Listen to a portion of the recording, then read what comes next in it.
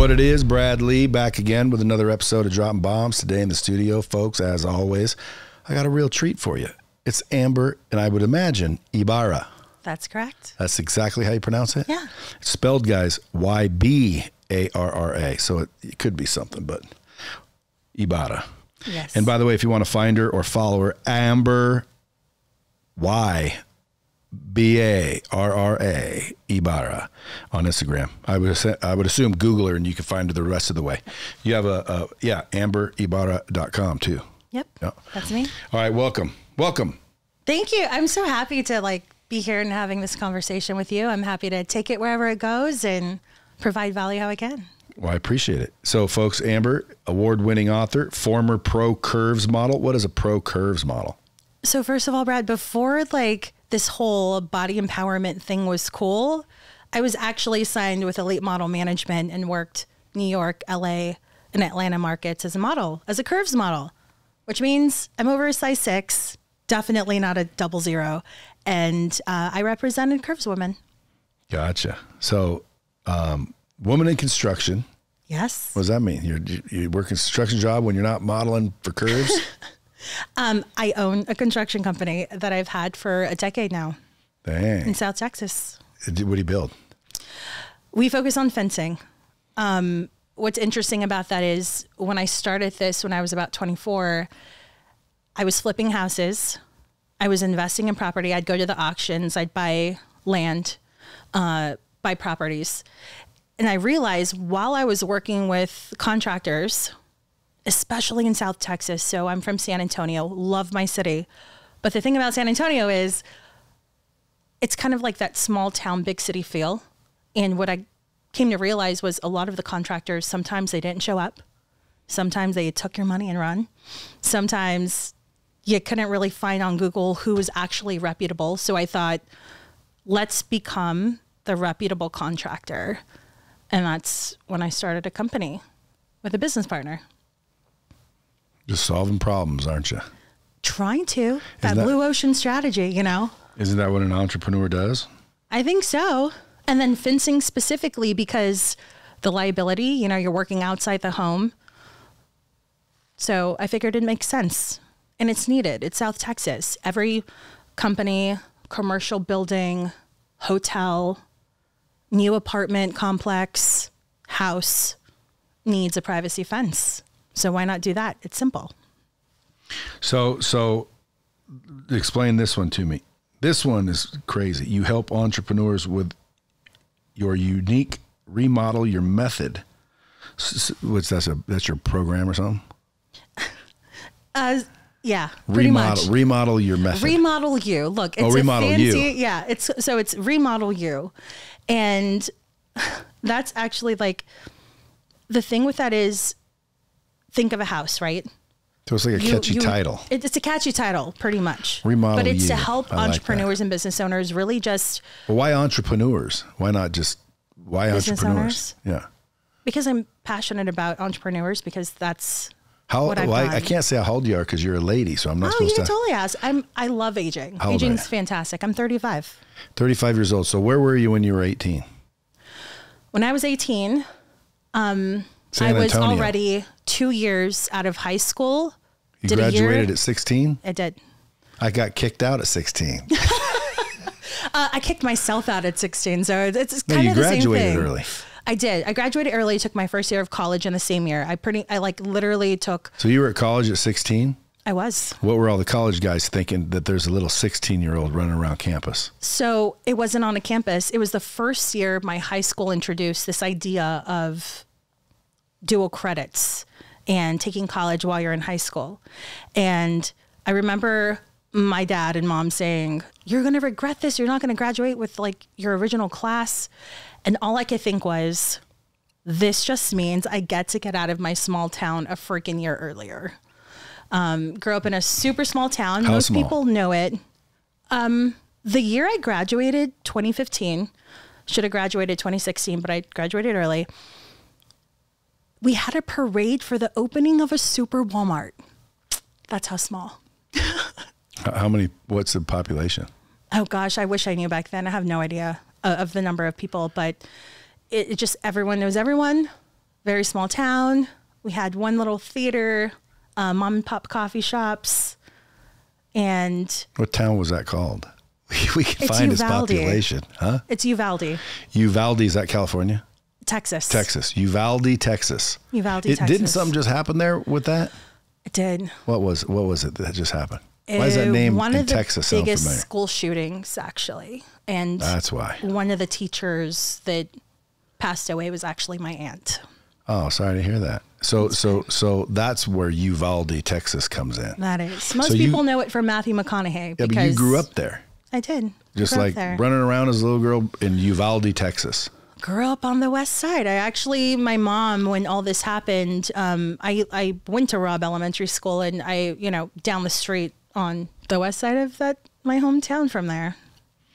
That's where I'm from. Now, how did you get into construction and, and, and, and just entrepreneurship? Like you were at high school, then what? Um, packed up graduation night, and went straight to New York City. So you moved from Uvalde, Texas to New York City by yourself? Who'd you know there? I had friends for modeling.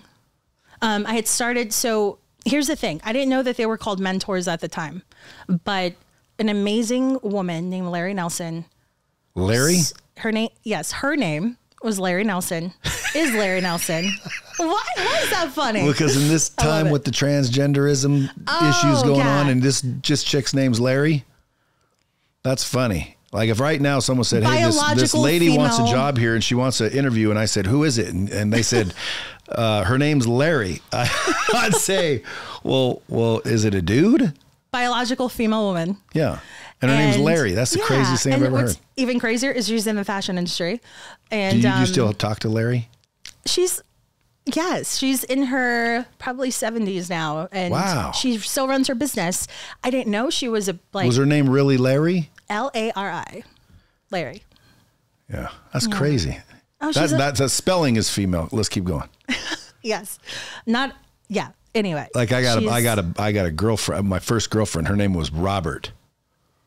stop oh my god i almost fell for that i was about to ask you really Yeah, her name's Robert. oh my gosh i was about to ask you really No, so not really. Larry finds me. So I, I grew up singing and I'm singing at this rodeo, the national anthem.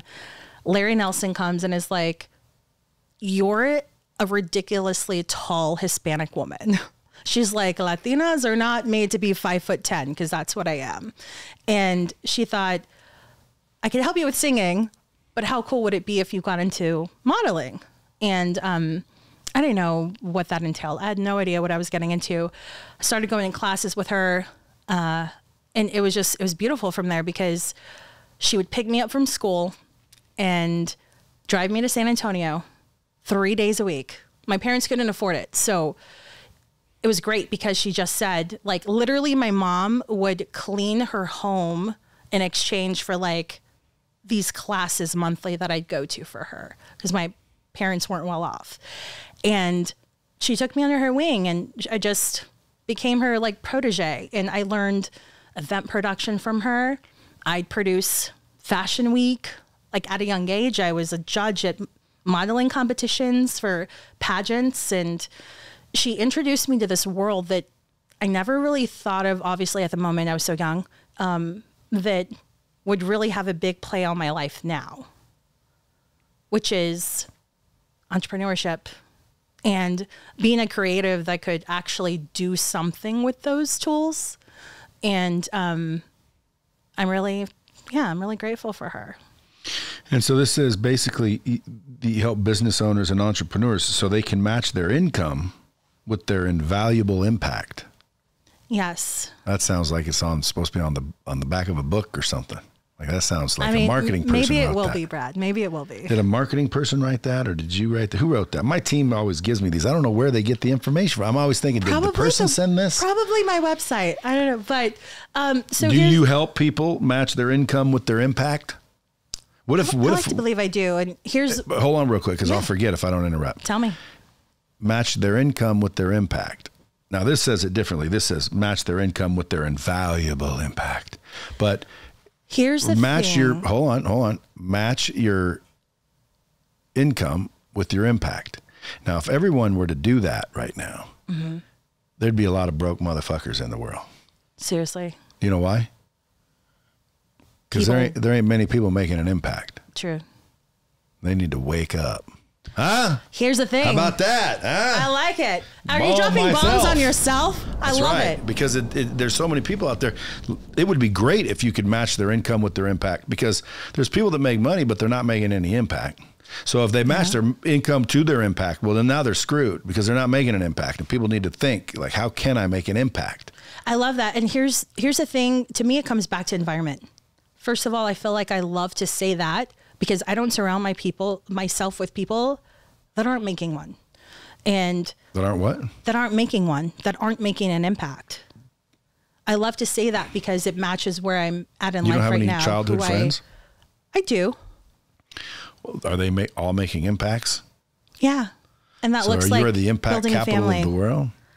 I wouldn't go that far, but Everybody you know and, and associate with is making an impact, or you don't associate with them. That's hard to believe. no. Like if I go through your family, I'll bet you anything I meet a freaking doucheball, oh, there's so many doucheballs out there. especially in mine. Like you I meet my family, you'd be like, dude. I can't believe you made it out of that mess. Now again, that's part of my family. Yeah, I got all kinds of parts, don't we? We all do. We all do. And and here's the thing, that's why I want to help people that are working to make that because if you're working to make an impact, that means you've set an intention to do so. How do you teach someone to make an impact though? To me it all comes down to this idea of like a fulfillment, this idea of assessing where are you now? Where do you want to go? And is what you're doing something positive in the world? Like whatever that looks like for you. We all we all have places in, in the world, whether you're a creative, whether you're a business owner, whether you're the tactical strategic mind or you're the visionary. And those are the people that that I look to help and that I like to work with. And again, award-winning author. You won awards. You, your book was called "Thriving into 30. Yeah, I wrote it at like 29. Yeah. Why don't uh, everybody go pick up a copy of that? What's in What's in there? What would they get when they open it? Does it teach people something? Yeah, it's uh 30 chapters. Um, what's interesting that I loved about your book was you have this chapter, I forget what chapter it is, but it's about like it talks about not being patient anymore. It's like you have no time to be patient and how patience isn't a, vir- a virtue. And then one of my chapters it's literally titled like patience is not a virtue because we have no time to just sit on our goals and our dreams. And so 30 chapters of my book is all about the lessons I've learned, kind of the hard way too, and how I hope to help people with what I've been through.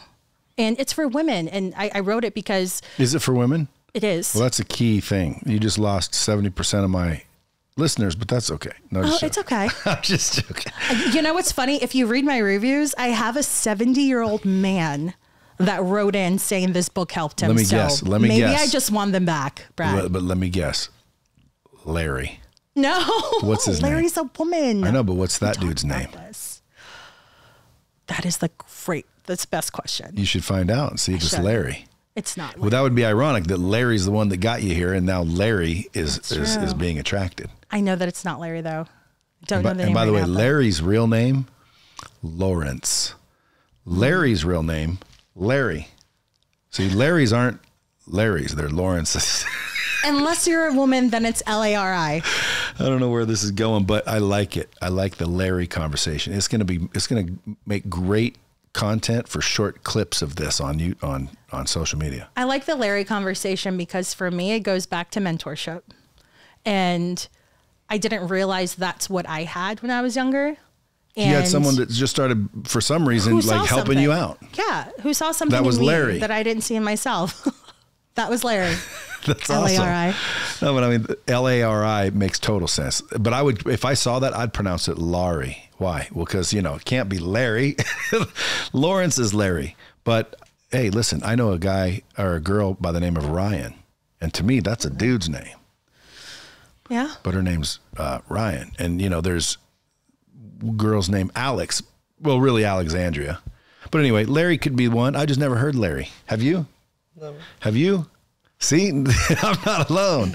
That's crazy. But anyway, the listeners mostly are obviously dudes. I think my demographic says I have like 30 something percent women. So if the We need to raise that. if the, what we do need to raise that. I try to all the time. But hey, I can't, you know, I can't, uh, all I can do is give out information. I, I can't get them to like it. You know what I'm saying? So the one that most girls like is when I said, if your girl outspends your income, you need to make more money. A And dude, one. that was getting shared with all the husbands and all the boyfriends. Unless you're the girl making all the income. Hey, if you're, I, I, I got my own opinion about all these things. Like, if you want to know, by the way, be feel free to ask. Make good, good episode material. But to me, if you're making all the money, then, then, then you know you get to call all the shots. Why? Well, because it's your money. And do you want that? That's a whole other I topic. do. Listen, I'm not a listen. relationship If I, if my wife, but if so, if I could snap my fingers right now and change where my wife makes the money I make, and and I don't have to do shit, would I snap my fingers and and and, and make her in that position? Hundred percent. Why? Well, just because I didn't have to do shit doesn't mean I wouldn't do shit. But it, it would mean that we're twice as rich now because now my wife is rich too. It would not bother me. I would not be uh, uh, worried that my wife was powerful or whatever. You know, a lot of a lot of times uh, they say men don't want powerful women. What do you think about that? I think that the question isn't presented in the right way because then when you get into power, that's more of an ego thing with men, I feel. And Are men and women different? 100%. Women are from Venus, men are from Mars. What's what's the book? Come on. Isn't that weird You know that Venus that. rhymes with penis? It should have been men are from Venus. That's men why are they. from penis? Hold on. no, What? no, no. Venus rhymes with penis. So if it's men are from Mars, women are from Venus. It should have been women are from Mars and men are from Venus, and men are from Venus, and that's why it's called a penis. It's a penis That's from Venus. interesting. Either way, I still think that ego's in it. And you guys have jars, so you have jars from Mars. Oh my gosh. Are we going there? No, but I'm happy to go No, there. but I know if you have your your some of your buddies that are uh, women empowerment, they'll be like, "What is Yeah. this guy? Why'd you go on that dickhead show?" Not a dickhead show. First of all, I think that you're full of substance. Okay. Uh, secondly, What substance? The Honestly, question. honestly, hold on. I I have to say one thing for the things that I've researched and read. I've read your book. I've done the things. You read the whole book? I did. I did. Can you tell I wrote it? I know it? the Sacred Six. Yeah, but can you tell I wrote it? Yeah, your your voice is in all of it. So don't tell me you didn't write it. Oh, I wrote it. Every I know you it. did, That's why people like you know if someone just says like you talk now, it's in the book. You even are like, oh, and I'm digressing. Like your conversation, like you're in the book. yeah, I, dig- I digress. You're like, I digress. By the way, I say that all the time. So like even that, those lines throughout the book, it's hilarious because it's like, of course, it's your voice. yeah. But um, well, a lot of times people say they write a book and they don't. They get a ghostwriter to write the book. They put their name on it, and then they say it's their book and they wrote it. But in the reality, they didn't write that book. They assisted in writing a book. I wrote okay. that book. you could tell you did. Yeah. And that's okay that they do that. Here's here's the thing, and here's what I want to always be aligned with. The things that I create and that I put out in the world, I always want to do it with the intention of it representing who I am to my core. And a lot of the time I see people who have like seven and eight figures in the bank and they don't have a freaking eight figure relationships with themselves Or anybody else. or anyone else. I'll give you a little bomb dizzle on that one. That's true. Did I get a bomb? I'm so happy. You got I've one. lived for this moment. No, but truly, it's it's one of those things, and I love that you brought up like the book too, because I didn't write a book just to freaking say that I'm an author now. No, that work was something that I was looking for. I was literally seeking any knowledge. I love my parents. They're super blue collar. I remember I was on a billboard as a model in Dallas, Texas, and I call my mom to tell her what had just happened. And her response, love you, mom, by the way, this is not to say anything mean, was, okay, great, but are you coming for the barbecue this weekend? Like, that's what they care about. My family's about family. They're about people and relationships. I could do the coolest shit in the world, and their question's to be, but are you happy? And I love that because that's how I function and operate.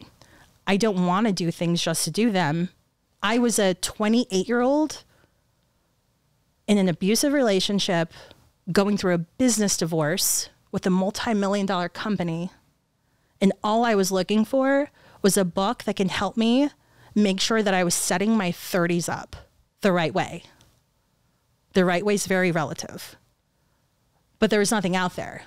And that's why I wrote the book because Vogue did something that was very kind of, don't want to say cliche in a bad way, but, you know, eat the cake, travel to Italy. Cool, love that. Where's the meat of trying to find ourselves in this crazy ride of life? There was nothing out there like it. That's why I wrote it.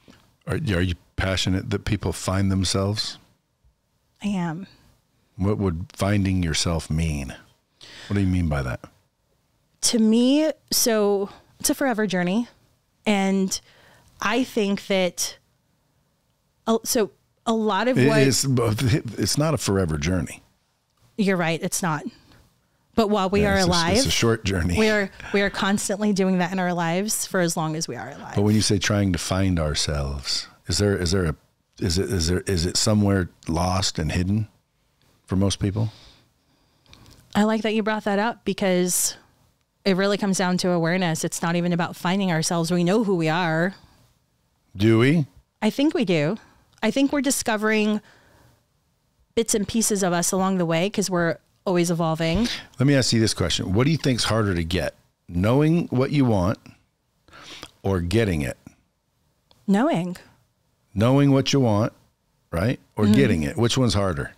I think knowing because you could get whatever you want if you know what you want. That's right. That is right. But see, me and you are not the norm. We we have knowledge or beliefs, one of the two, different than most. How do we know? Well, because again, why aren't most people entrepreneurs? Choose your hard. It's hard. Yeah, but we know that's why. That's why you can answer that question. You know what most people would answer? It's harder to figure out how to get it than it is figuring out what you want. Like what you want's easy. I know what I want. I want to be rich.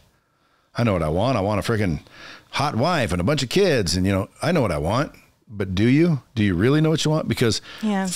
learning what you want is harder than getting it. Yeah. Getting it agree. is is fairly simple, if you ask me. Like you just find someone who's already got it, Mm-hmm. or done it, or been there, and you ask them how did they do it, and then you emulate that. Yep. And then like action causes like result. Nine times out of ten, you're going to end up with the same thing. So it's pretty easy to get it. You just find someone who's got and do what they did. yeah. But it's figuring out what it is is the hard part. I would agree. And I don't feel like enough people have that kind of self awareness because everything they do is dictated by other people and expectation. And am I going to look stupid? Like, I have struggled so much in my teenage years with giving a fuck of what people thought about me. And that held me back for so long. And once I was free of that, I still struggle a little bit. I'm not going to act like it's all gone away, but it it freed me of so much. You know, I was a struggling artist. I was a singer painter. I moved into entrepreneurship. I wanted to make something of myself and I did it unapologetically. And it felt good to do that because if I failed, that's on me, but at least I was going after something I knew I wanted versus what I thought other people thought that I could do or be. Hmm. I don't think enough people do that. Now, how do you spend your day? Like what when you wake up, like what do you do all day? How do you make money? Your your fence company or your construct it's not construction company unless you're building buildings. That's what I thought. I was doing that. But you are constructing fences, so it's construction, but you, you mainly focus on fences. No, How do you make money every day? I'm a coach and I sell products and I'm a keynote speaker and I've built a great team for my construction company. Actually, I'll even share this now. I just had an epiphany a week ago. I've had my construction company a decade and it's my baby. I, I, I, I built it from the ground up from nothing. I even had to dissolve a company with a partner to start my own thing over again. And I made it successful. And I just realized like I'm working to exit that company because I didn't, you know, talking about self awareness earlier. the construction company is my backup plan. And I don't need a backup plan anymore. What I'm doing, I know I'm meant to do. And so when you ask me, how do I make my money? I'm coaching and working with Fortune 500 companies and C suite execs. I'm speaking on stages. I'm helping that? people like I want to. And all of it came from everything I, I've learned building a business from the ground up and starting from nothing and doing it two times over. Do you enjoy speaking? I love it. I love it bigger so the much. crowd, the better. No, not necessarily. No. The right people. If Like, I'm to in the me- right to, room, To me, I don't care. Like if I walk out and there's thirty thousand people, that feels better than I walk out and there's thirteen people and two of them ain't looking at you. They're on their phone while you're talking. if you're talking in the right room and there's 15 people that are your ideal You, client, lay, if there's only fifteen people, it's probably not the right room. well, maybe it is. Well, then you wouldn't be doing a keynote. No, Well, there, I've never seen a keynote in front of fifteen people. No, but here, so here's something I learned. If you're doing a keynote in front of 15 people, you're probably auditioning. There's a thing called there's a thing called OPS that um, I by the way I've been fortunate enough um, to be on your friend Grant Cardone's I made top 10 as a speaker for a new show that hopefully someone picks up and they have coming out which I could talk about called the Great American Speak Off and I got to work with Pete Vargas and um, their their whole 10x How'd you do? team How'd you do? I made top 10 Well, Pete Vargas, you know how that whole thing got started, right? actually I don't know the backstory Well, the backstory is Pete Vargas. I said, dude, you know, he's doing his thing, and I said, and he said, dude, how do you get me to Grant? And I said, well, why would I get you to Grant? And he says, dude, because if I get on a stage, I'll sell so many of these, and da da da da da, and I'll cut you in, and da da da da da. So I said, okay. So I called Grant. Hey, Grant, dude, you need to pay attention to what's going on here because, like, literally, what he's doing was called advance your reach. Yeah. What he's doing like out there is legit. And and if he like all the entrepreneurs at 10x conference probably you know a lot of them need this. And you call it like 10x stages or you know call it whatever the hell you want to call it but you want to get with pete. And so now there's a product of pete yeah I, I know I, but see went look, look i'm training. involved and you're in that whole ripple effect That is so great. No, I, I love that. And by the way, I totally dropped your name um, because I, I had a 10 minute conversation with Grant. Um, they, they chose one person out of thousands and I gotta, gotta have a convo with him. And um, really, like I spent four months. did he say yeah Through this yeah, process. yeah yeah How did you know that? Yeah, he did. He was like, yeah, uh, for sure. Not that I'm trying to, you know, imitate him, but uh, all that to say, I, yeah, I don't even know what my point was other than that experience was amazing. No, you were you were demonstrating that hey, you know, out of all those, you're you were picked as the top one, or one that you've I, selected did, as I one didn't make few. top four though, because those top four got to speak at his event that 10X. he has here, his growth con. I was so, I was so freaking close though. Who who won? Do you know their names? I don't know all of their names. I, Who got compe- to I, I worked with them. What what do they speak about? Uh, it varies from motivation to adding business value. So there were there was a mix of people. Do you know that? Do you know that like when Grant has people on the stage, it's it's either to uh, draw you there, like Trump and and these big names he gets, Mm-hmm. or it's to sell you something. Oh, for sure. So usually, like when when you go on his stage, he he wants you to sell something. Oh, 100%. It's and not. It's things not. It's not. It's not usually educate them. It's sell them. Well, yeah, I mean, there's a whole art to speaking on stage. I think that's where we're going with it too. Is um, I talked about 15 people in the room, so Yeah, but they're speaking on stage about- and then they're selling from stage. exactly, and all of it's based on OPS, other people's stages. This is a stage right now, Hundred percent. I'm Big on your one. stage. Big one. Monster stage. the biggest stage. One of the biggest, not the biggest. I know several that are bigger, but you know, like Joe Rogan, shit, there's a stage. But yeah, this is definitely a stage. You are right.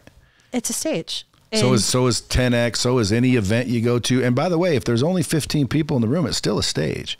And if you're my point. selling from stage, you know, which is good, you're you're you're you're pitching uh, one to many instead of one to one. yeah. and so your your revenue skyrockets. Yeah. See, I didn't when I was on all the 10x stages, I didn't I wasn't selling anything. I wasn't smart enough back then to think and go, "Wow, But I you get it. were. I should be using this stage to get this, that, that, that, that. But I didn't. I was out there believing that I just needed to give them some values, teach them some shit. Mm. I never sold anything. There's a structure to it. I know there's a definite structure to it. Is that what Pete's teaching you? The 10x stages? Oh, totally. Yeah, I, I Dude, went they're good at their it. program. Oh, they're they're so good at it, and it helped me. I've you know I Did you, did you create your story f- with Pat? Of course I did. Pat Quinn's the best. I love that guy. See, Uh, he I- made he. I went through that whole thing. Um, he made me one, but like I don't do this. Hmm. I try to frickin' have a signature talk, and and it's like you know, yeah, a few people were crying and this and that, but nobody was hooting and hollering and having fun and throwing babies when I was done. I was. It was it was always it was always this you know. Well, you never heard me do it because I never did it. I've heard you talk on stage. That's But how I saw you. but that's not me doing their thing. Oh, gotcha. they create signature talks where it starts out a particular way and every time you see it it'll it'll go that way mm. like mine was you know i forget how i started it but it was i'm silent and then i make this statement that somewhat alarms people and then i'll say this and then i'll paint a picture and tell the story and i'm like see i don't i ain't doing that i don't do that now if i was selling a product and i wanted to consistently sell that product i should do it Yeah. but I say I wasn't selling anything. So I thought it felt weird because I don't need to be that rehearsed. What do I need to do? I need to go out there and just talk. And so that's what you heard me do is talk because that's all I ever do. I love that. You know, And- you, you know, I just got back from doing a keynote um, in front of like a couple thousand people coaching con.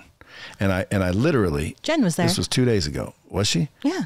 Um, I walked out on stage and I said, you know, when I see pregnant ladies, I think to myself, they've been fucking. Now, why?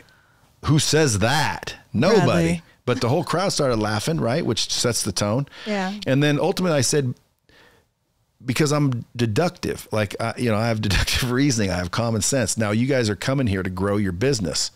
So I'm going to cover some things that are kind of through deductive reasoning, you can come to the conclusion that I am correct. So like I used it as the as a thing. So now to call it back as I was talking, I'd be like, you know, she must have been fucking, which meant pretty obvious, isn't it? So I equated it to pretty obvious, isn't Yeah. it? Yeah. But now what's funny is I get text over and over and over from people that were there and DM'd, I just saw a pregnant lady. now what are they really saying? They're saying I I just saw some chick that I'm thinking now I must have been humping. been- so literally, I got people thinking about humping all day. Every time they see a pregnant lady, they're going to be thinking that trash, which is not necessarily the influence I wanted to have on the audience. but if you go to my next event, which will come up here uh, in Salt Lake, I'm not gonna. Well, I might because it was so good, it was so funny. But what if it doesn't work at that stage? It was just natural. Is my point. No, yeah. It's, It just came out. Like I, I didn't think natural. I'm gonna say pregnant ladies remind me of humping. Like I'm not gonna say that. Like when I walked up on stage earlier, I was talking to my buddy who where we were driving around, and I actually said that out of something completely different. And he said, "I dare you to open your speech speech that way." And then I was joking, and then the guy that puts on the convention came into the green room, and he said, Hey, tell him how you're going to start your speech, thinking it's a total joke. And then I said, He thinks I should say this. And then the owner of the place said, You should. And I said, Shut up. He goes, Dude, I dare you. You wouldn't dare. I said, Oh, I dare. He said, I dare you. So I did it. but that's who you are. Yeah, that's who I am. Yeah. So this is what I love about it though. Even working with people like that, the structure and start with this story and bring them into the moment. The head, That's the heart, great, the hands, you know, that whole thing. Three braid framework. But dude, that's also very true if you're It is selling though. I would say they are 100% right. Here's what we get to do though when we're working with people like that. To me, I'm I'm going to take it and like everything else including content, make it my own. I'm not going to follow you to, you know, follow it to the T and make this you know, structured to the word memorized thing because that's not who I am. I, I have an idea. I have some points that I want to hit. I set the intention, but then I walk in the room and I fucking read the room. And that's what you got to do. And that's I- what I, I think some of the best speakers in the world do. You know, Agreed. That's what they but do. if you but if you go listen to a lot of these what I call speakers, like a, I'm not a speaker. but you kind of are. Well, I mean, again, you can claim I'm a speaker. I did, you know, over I don't know how many speeches last year, but mm-hmm. but a lot. Yeah. So you you call me a speaker, but I'm not a speaker per se. Because to me, a speaker is if you see me on Monday and then you see me on Wednesday, mm-hmm. it was the same speech. And then if you saw me on Friday, you'd be like, okay, I've seen this. Like it's the same pauses. Like I start out. Would it surprise you to know that exactly three of every people, you know, and then you come to the next one. That's why I start. Next one. That's why I start. That's a speech. Most of them are doing that. The good ones, the professionals. Do you know why? Because if I saw you at an event, yeah, if I saw you at an event and I'm like, oh, I love this message. I want you to share it with my group. And then I hire you and you go over there and you don't say anything close to the same. Like, what the? f- So, literally, if you want to be a professional speaker, speaker, like a real speaker, speaker, you need to create signature talks. Yeah. And that's what they do. They give you a signature talk and then they infuse how to sell with it. But the signature talk, in my mind, is your story. Same. You know what I'm saying? But if your story and your and your product that they're tying together isn't really that exciting, well then how exciting can your signature talk be? So I don't I didn't like it because mine was on training because Lightspeed was what I'd tried to be selling from stage. Yeah. I'm like, dude, now I got to talk about, you know, training and why is it so important? How did it touch my heart? And it's like, Can I ask you a question? Speaking of stories, is that okay? yeah. How has your story like shaped you to now? I know it's a very like loaded question, but from where you came from to what you've built with your company Yeah. and this podcast, Yeah. like how did you reshape that story? Because you could have easily I didn't reshape the story. The story's the same. Or how It's did you reframe it? it. How did you reframe it in your mind? I misspoke, not reshaped it. How how did you reframe it in your mind to make yourself get up, do the work, and like be where you are? Well, again, I didn't. I didn't really do that. Um, I think I just keep learning every day, Okay. keep adjusting every day. So again, I mean, like I should already be a billionaire, hundred percent.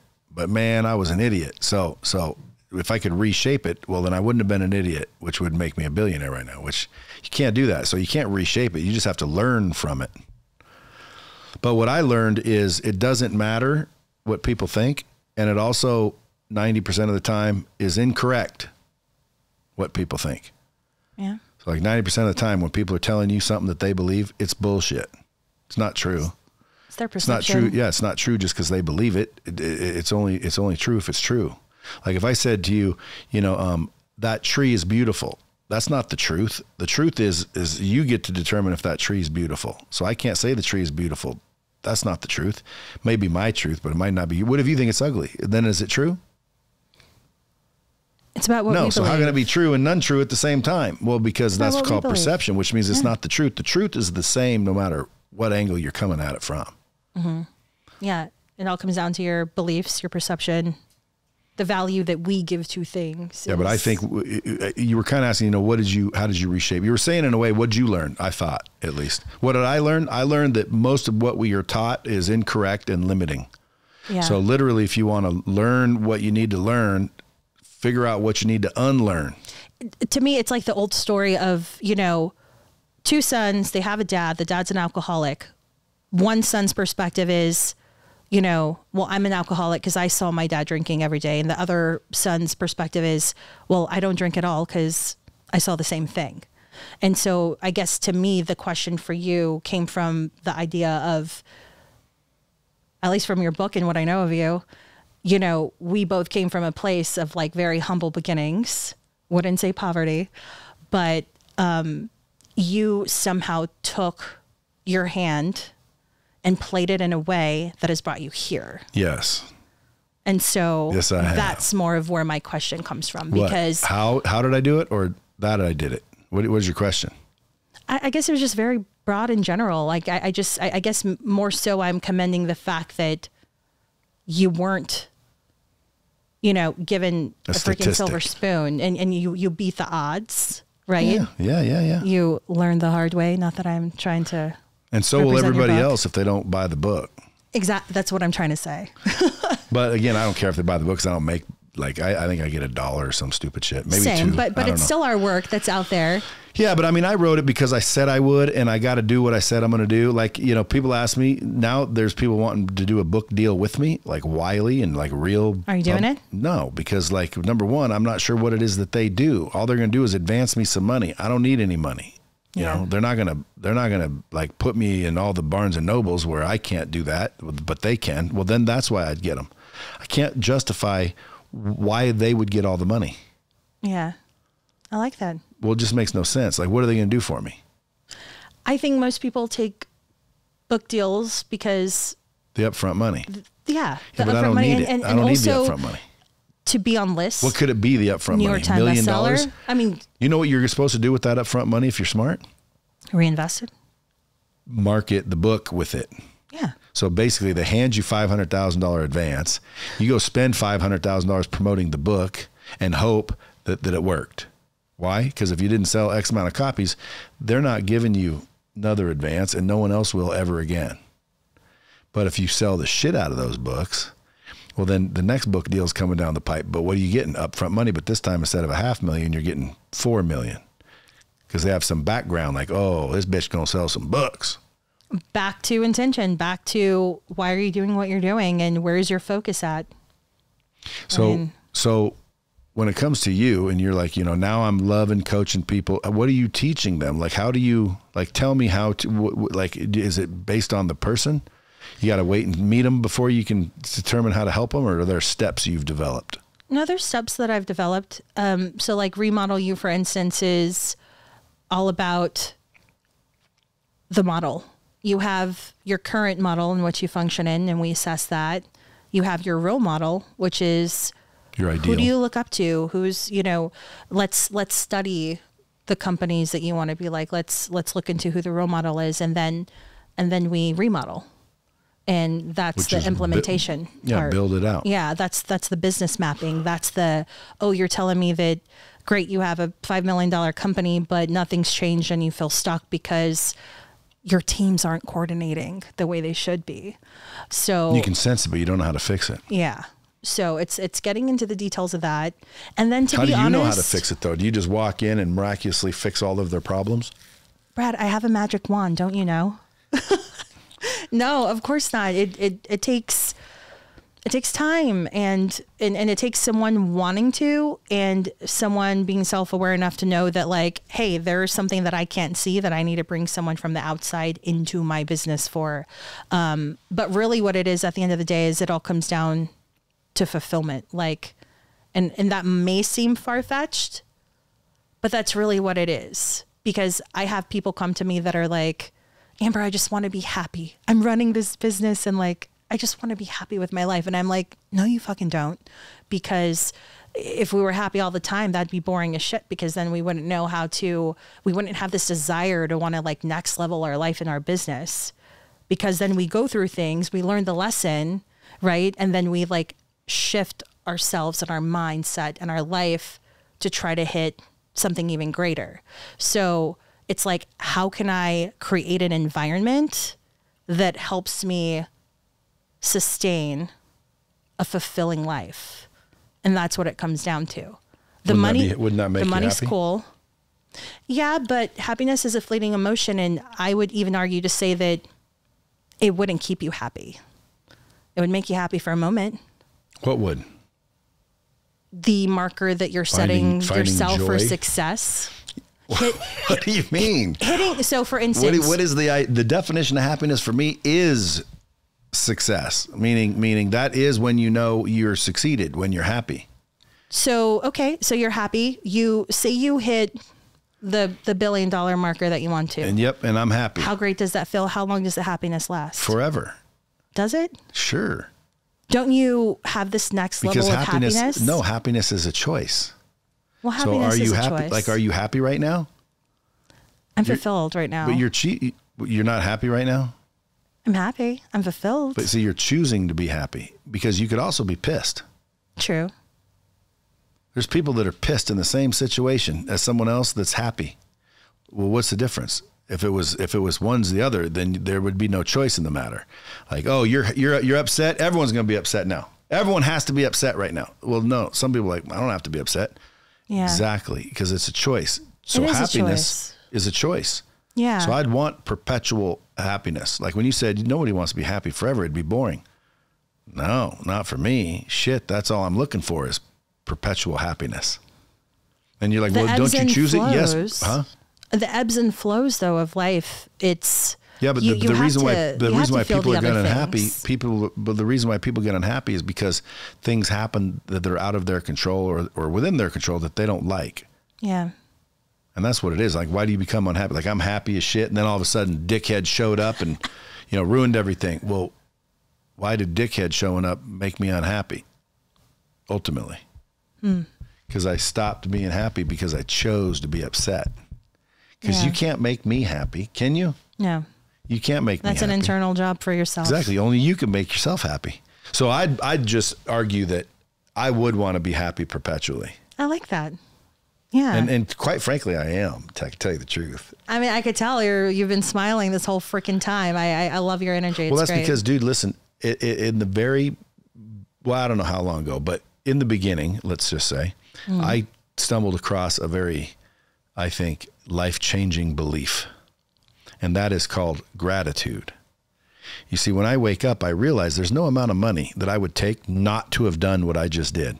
So, literally, every single day I wake up, and the first thing I think about is extreme gratitude to even get the fucking day. yeah. So that shifts like my that. perspective automatically. Like no amount of money would have would have said, okay, well, I'll give you fifty million if you don't wake up. Nope. So you mean waking up's worth more than fifty mil?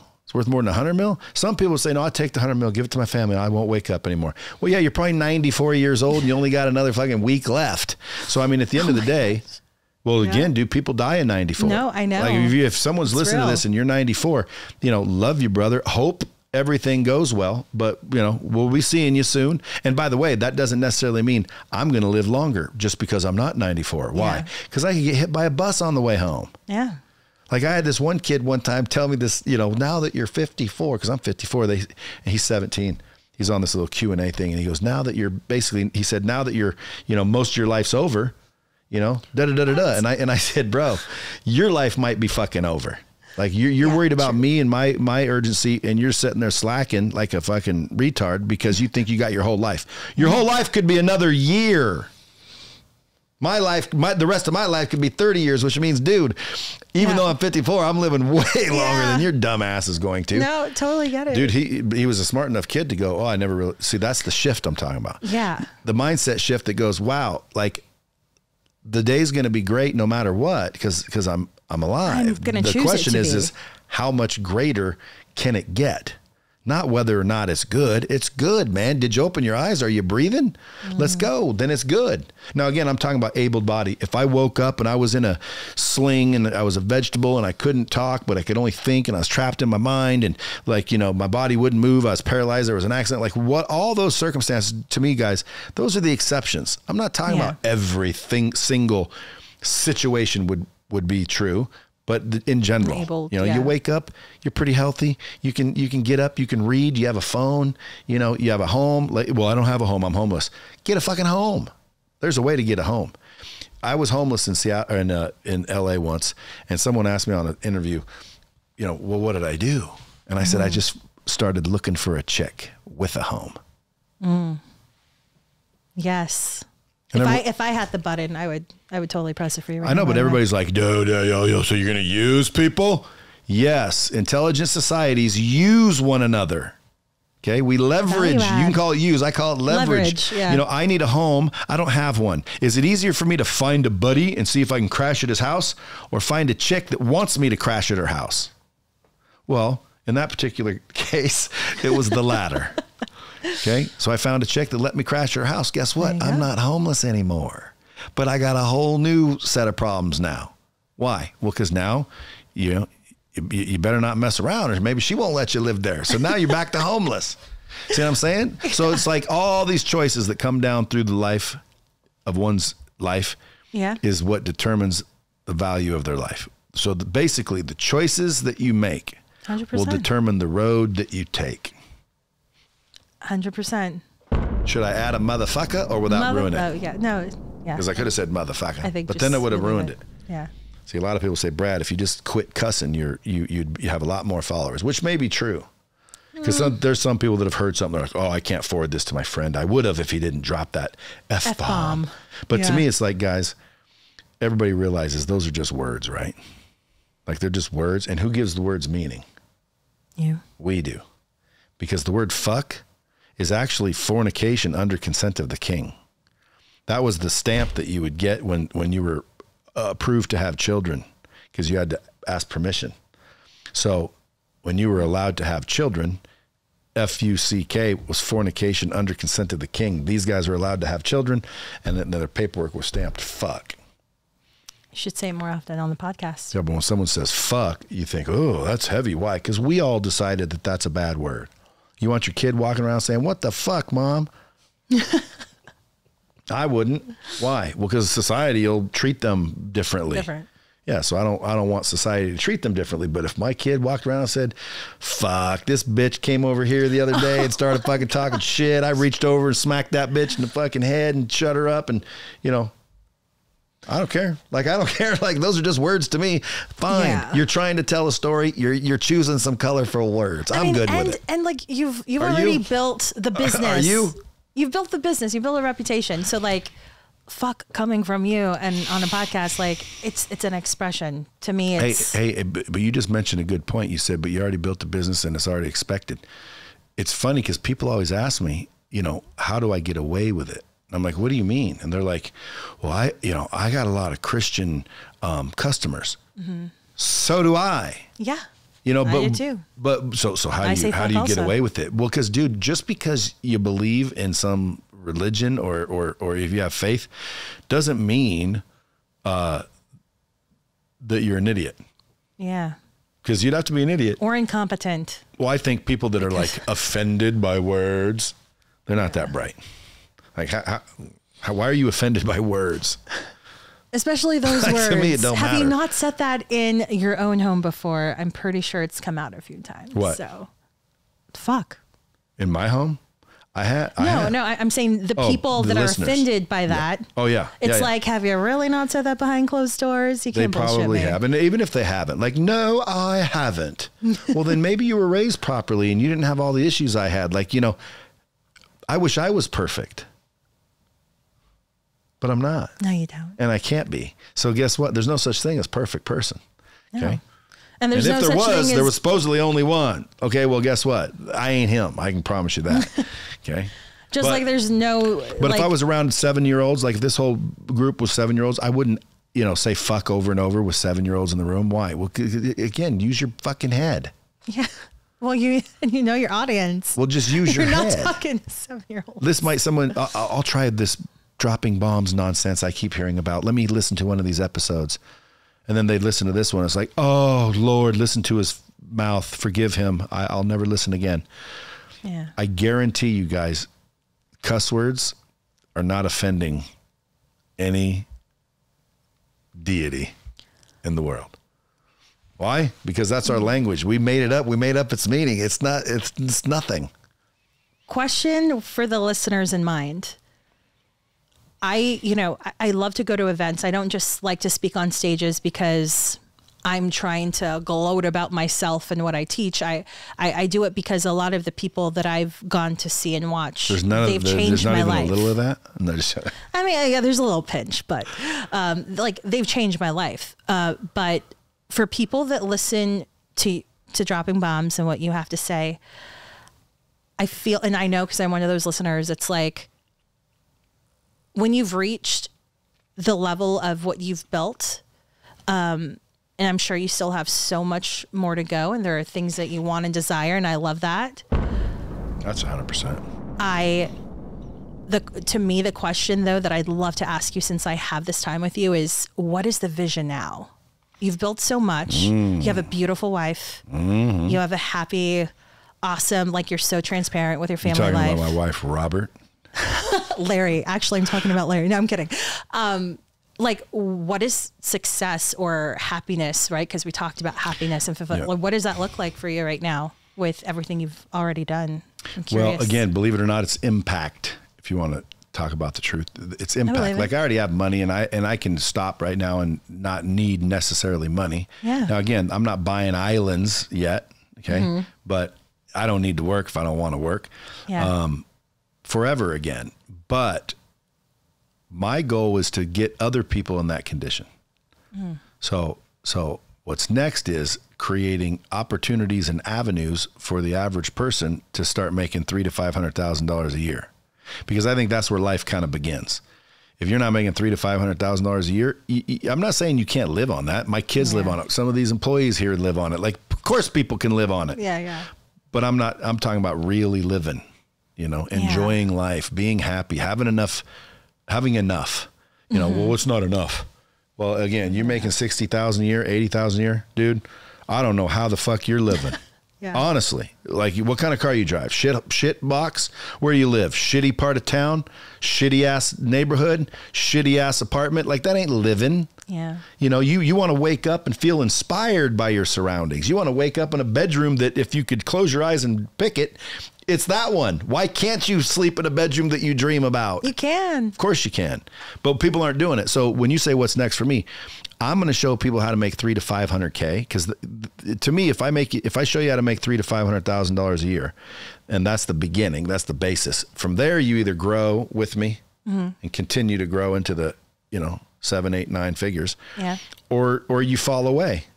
And again, so I'm just gonna I'm looking for people that are swimming towards me. Like, you know, I'm I'm gonna go help a million people make a million dollars, but it's the one swimming towards me. And it starts that. with three to five hundred thousand dollars. That's why I started these companies I just started recently. Mm-hmm. You know, I, I was teaching people how to close, sell, persuade, Mm-hmm. because you got to you got to sell somebody something if you're going to make money. I guarantee you, I don't know anybody successful. I don't know anybody successful that isn't selling somebody something. 100%. Okay, so you got to sell something, right? And you got to get really good at selling something. Yep. So I used to just say that, right? That was my thing, and and people would buy the training, and you know I'd help all the people get better at sales, and but I don't know what happened after that. It doesn't feel as good. Now I now I'm saying, okay, I'll even show you and hire you at the company that you'll make three to five hundred thousand. So I started the companies to give the jobs to all these people. But they're not companies per se. I mean they mm-hmm. are, but but they're like, for example, I don't know if you know this, but more millionaires have been created selling financial services, insurance, shit like that, Yeah. than any other industry. So it's not that difficult to make three to five hundred thousand selling insurance, mm. IULs, things like this. Mm-hmm. It's not that difficult. Now, again, is it work? Well, hell yeah, it's work, dude. You ain't just gonna sit there and make a half mil, but you, but but if you're willing to work, and I'm assuming you are, because if you're not willing to work, dude, let's stop. You don't need a job right now. You need trained. You need educated. You need You need a mindset shift. Right. You need shifted because at the end of the day, dude, it's going to take work. So if you if you bought into my program thinking this wasn't going to be work, you're stupid. But at the end of the day, teach you to sell. Now I want to go a step further, give you the vehicle to sell with and in. So that. so I'm setting up these companies. So that's the future, the next 3 to 5 years. Yeah. And then I would say in 5 years I will be almost 60 and I am going to sell everything I own. Mm. And Sounds like some Dr. Wayne Dyer stuff. Right off into the sunset. Okay. Now, again, I'll still be a social media icon. Why? Well, because, you know, that's fun. And not only that, it's easy for me to do because my social media is just me being me and, you know, people are filming it and chopping it up. So, I mean, I'll still live. It's just my lifestyle will be a lot l- different. You know, I won't always be, you know, at my desk like you see in a lot of my clips now. You'll see me on the beach. You'll see me on the boat. You'll, you'll, you'll see me buying the car and, and, and traveling to Italy. You'll just see me doing other things, but you'll still see me. And that's where the impact And comes that, in. and that, by the way, is is when I'm done. No, the impact is the next three to five. I want to I want to help a lot of people make you know get out of the rat race. Now, by the way, doing that will make me ridiculous amounts of money oh, yeah. and it, like into the B word. Yeah. And then I sell all my companies and assets because a lot of people don't know, but I own multiple companies, not just yeah. Lightspeed. For sure. Um, I sell them all because there's equity, a lot of an equity in all of them. Plus, plus, plus, plus. what- th- th- That's what's developed till then. Psh, I guarantee you, number one, I'll be a billionaire, and I'll be riding off in the sunset, a billionaire, all svelte, right? I'm gonna freaking make sure I stay on my regimens and and and, and constantly look for the way to stay young and fresh. Oh, Always. And then at 60 years old, get my billy and just ride off into the sunset. What's your plan? Man, I I love where I'm at right now. First of all, I've taken my 5-year plan and I'm working to do it in one because a lot of the things I'm doing, I I've let go of the idea that I have to like do it perfectly. And I know maybe you Perfection have kills some progress. I know it does, and that's why I've been taking massive imperfect action. And and all I want to do is speak on more stages. I want to help the Amber that I was five years ago when I was going through a business divorce and had to freaking start from scratch to build up my third company. And I want to help that person. So the impact's already happening. Now it's about scaling that impact. I want to write more books. I want to. I, I'm going to do so many things. I'm going to retire my parents. I'm going to. I'm going to do something that matters, and I'm going to do it all with integrity and with like Now here's my fucking passion. Now here's because, my only question. Because I'm not just chasing the money, and it's more than that. so So, here, so here's my only question. yeah, Why haven't you done that sooner? It's too many lessons that I had to learn, and I love that I did because Uh, yeah, but watch because there's lessons in this. yeah, That is correct. You didn't because you didn't know how. that's true. or you said it another way. I, I had lessons to learn. Whatever, you didn't know how, or otherwise Nope. you already would have done this. Oh yeah, Everybody got to understand that. So if you're not where you want to be in life, it's just because you don't know something you need to know. So should you be seeking information and counsel and mentorship, or should you be hiding from it? You need to seek it, and also to me, the biggest thing is being in the right rooms with the right people. Proximity. proximity. Thousand percent. This last year this last year i was in probably five high ticket masterminds and let me tell you it's changed my fucking life. And all the ideas i'm a visionary all the ideas that i've had and the different partnerships that i'm i'm, I'm with and working on I'm, I'm getting freaking 50x done. Well, dude, there's going to be some people from the bomb squad that are going to probably reach out to you because they like the way you said something, or you know, they they too, you know, went through with what you're talking about, and I'm sure you're going to get some biz from the bomb squad, which is again the idea, isn't it? You know, Yeah. get the knowledge from the people who have it to the people who need it. yes let's go And your book's very similar, even though it's not called the hard, hard way. It's the premise is the hard way. Yeah. And by the way, I think a lot of books are that premise, because when you read things, you know, a lot of people are trying to teach you something in their book, at least the self help ones. Mm-hmm. And you know, I always look at did this go like what's their journey? What happened to them to where this this is passionate about it? Mm-hmm. You know what I mean? And it should be, and it should be if we can help other people avoid the mistakes we had to make, wouldn't they accelerate their ability to succeed? thousand percent And wouldn't that make us happier number one good people and better off? Ultimately, better off. Yeah. If right now I could snap my fingers and everyone on the United States planet or not uh, uh, planet territories, let alone the planet, automatically started making two fifty a year, like literally. Now, I, there, there's going to be some financial expert that tells me I'm wrong, but in theory, if everyone made a bunch of more money, wouldn't everybody like? What if the lower, what if the lower income was quarter million a year? But again, not inflation and crazy where that still made you poor, like what we call poor now. Poor to me is without. yeah You know what I'm saying? Like, like, like, hey, why don't you wear better shoes, dude? You don't fucking have better shoes. You can't afford better shoes, so that's poor to me. If if you're making 240, you you'll still have the kick ass shoes. You you you'll get what you want. You'll get what you need. Why? Because you're not poor. So I want everybody to be that way. Like, what if everybody made that kind of money or better? Wouldn't that be awesome? Would you we would we be better off or worse off as an individual? The answer I'm looking for, better. i'm gonna give you mine though Okay, yes better but But but if you By the way, when you say but, it means forget everything I just said. I, I- I know. I- I'm just gonna like press press you for a second. It's like, yeah, that'd be great, but to me, money is a magnifier. So if you don't have your mindset right, and if you don't have your shit together up here and like in here, right, like brain and heart coherence, then all that money could go away anyway. And this is what I love about the group of people that you speak to because they're people who are who have goals and dreams and they're entrepreneurs and eh, right have this mindset. How many people have you heard, Brad, that you know have made it to the millions and then fucking lost it all before they got it back because they had to learn a hard lesson? So Not yeah, many. the- just FYI. I, mean, yeah, I, ha- I do know some, but not as many as it sounds like. People always want to say all millionaires go broke before they're, you know, three times before they stay wealthy. I never. I I, I know some that have gone broke and they're still broke. And then I know some that have lost and gained because of Yeah, risky, the ebbs and ris- flows, ris- yep. yeah. But but at the end of the day, they're rich. Like I'm talking to rich people. I don't care that they lost it three times. They're rich. Yeah, totally, totally. I'm just saying that. Yeah, give them give them the money, but also like just make sure you have your mind right because Of course, you gotta do That's going to help you keep it and scale it. I mean, So, dude, money does not solve everything. Okay. Of course not. It does not solve everything. That is a fact. You can still be miserable and have a shitload of money.